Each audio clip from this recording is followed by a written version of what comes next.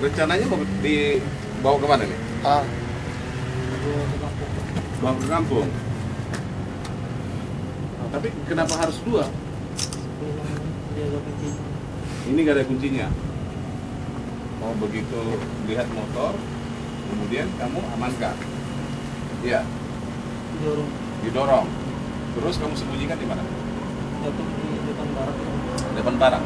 Yang menarik di sini adalah pelakunya adalah eh, yang baru saja. Yang baru saja keluar atau menjalani hukuman di salah satu lapas ya, yakni di Tamiang Layang. Dengan kasus yang sama juga curang